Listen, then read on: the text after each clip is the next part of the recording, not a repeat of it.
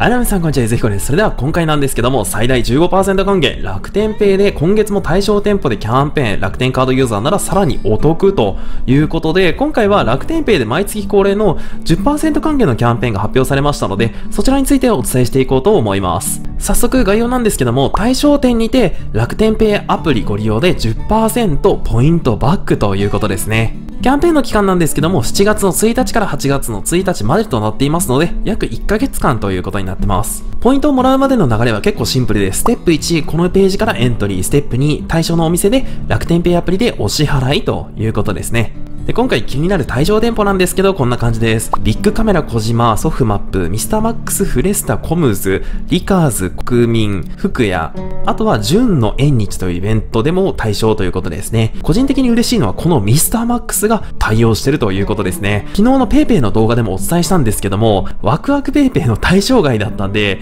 今回はですね、このキャンペーンにミスターマックスが含まれてるのでめちゃめちゃ嬉しいですね。で、ポイントの進呈日なんですけども、9月の末日頃ということと、あと、もらえるポイントは期間固定ポイントとなっています。そして、上限ポイント数なんですけども、1人当たり1000ポイントまでなので、10万円分のお買い物をすれば上限までもらえます。で補足なんですけども、現在楽天ペイでは、こちらの期間中5%還元のキャンペーンというのも実施しているので、楽天カードユーザーであれば、今回のキャンペーンと組み合わせると、最大15%還元が可能となります。念のためですね、楽天ペイ側に、あの、電話で問い合わせたところ、併用も可能と回答いただいたので、もし利用する場合はキャンペーンのページもぜひですね、一緒にチェックしてみてください。ということで今回は楽天ペイの15%還元についてお伝えをさせていただきました。下の概要欄に今回のキャンペーンのリンクも貼っておきますので、気になる方はぜひチェックしてみてください。ということで今回の動画は以上です。ご視聴どうもありがとうございました。チャンネル登録、グッドボタンよろしくお願いいたします。